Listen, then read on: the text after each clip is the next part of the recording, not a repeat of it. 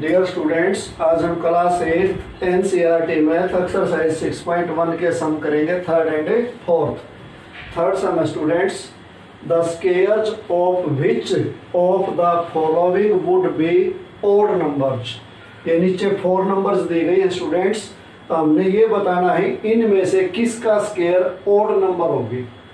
तो स्टूडेंट्स हमें ये पता होना चाहिए कि ओड नंबर का स्केयर ऑड आता है और इवन नंबर का स्केयर इवन आता है। We know that the square a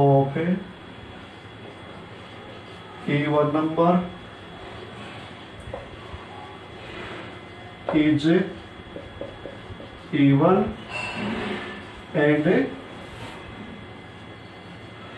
odd number is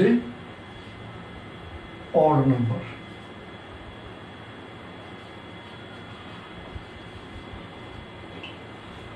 हम ये जानते हैं कि इवन नंबर का स्केयर इवन आता है और ओड नंबर का स्केयर ओड आता है। लेकिन अब हमें ये तो पता होना चाहिए इनमें से कौन सी नंबर इवन है और कौन सी ओड है।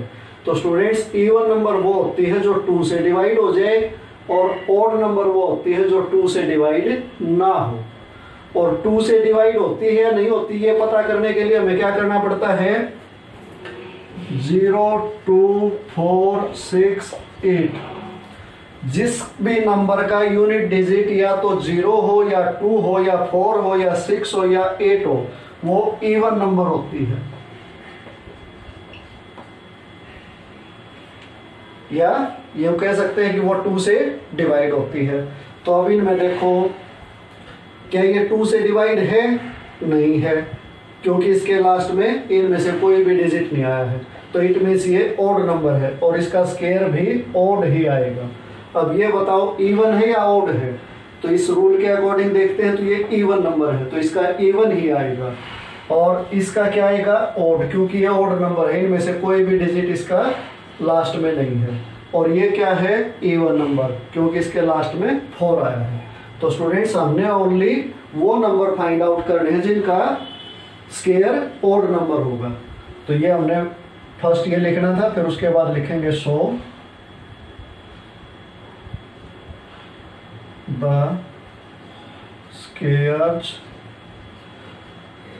of a 431 and 7779 would be odd numbers.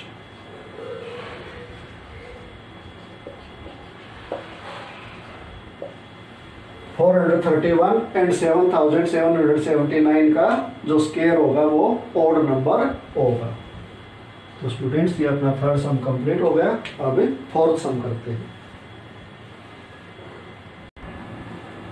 Fourth sum students observe the following pattern and find the missing number ये नंबर का पैटर्न दिया गया स्टूडेंट्स हमने इसका ध्यान से अध्ययन करना है कि इसमें क्या पैटर्न है।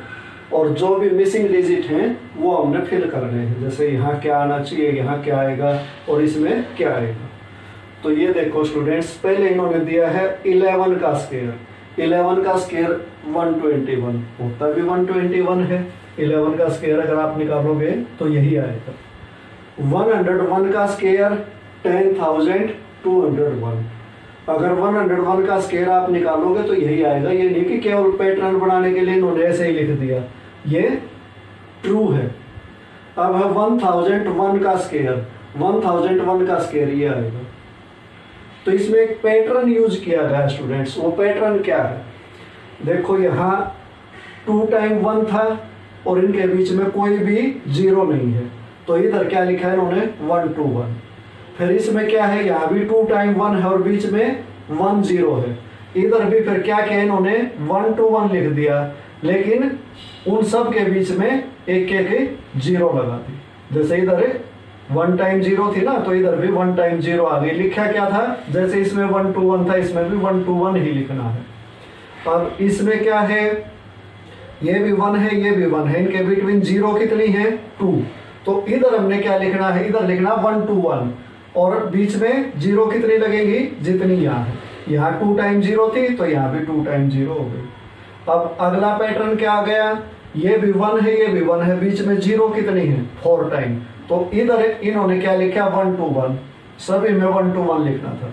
अब इधर बीच में चार ज़ीरो है तो यहाँ भी फोर टाइम ज़ीरो यहाँ भी फोर टाइम ज़ीरो तो ये पैटर्न कंप्लीट हो गया। अब इधर देखो। ये भी वन ये भी वन बिटवीन ज़ीरो कितनी है? सिक्स टाइम तो इधर अब हम क्या करेंगे? पहले तो हमें वन, टू, वन लिखेंगे। अब बीच में ज़ीरो कितनी लगेंगी? Six time. One, two, three, four, five, six.